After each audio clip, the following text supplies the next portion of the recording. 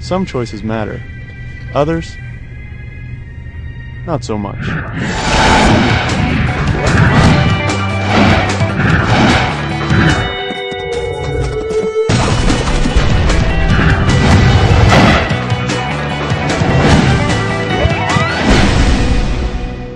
Choose to get involved.